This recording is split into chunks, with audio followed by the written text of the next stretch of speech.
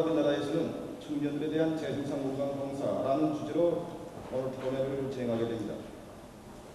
청년 여성들을 포함하여 여성들에게 전반적인 재생산 건강 봉사를 보장하는 것은 여성들의 권능을 높이고 There are over 600 million girls in the world today.